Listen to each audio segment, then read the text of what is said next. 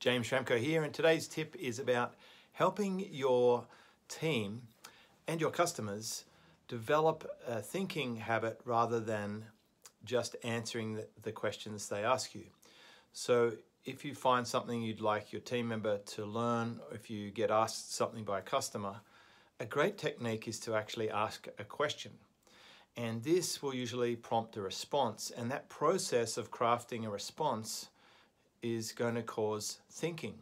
And as your customer or your team member starts thinking and uh, basically contributing towards a solution, they're developing that pattern of learning to think for themselves. So if you've ever had someone say their team member just doesn't know how to think for themselves, that's because you're probably just giving them the answers and you're not creating an opportunity for them to help be part of the solution.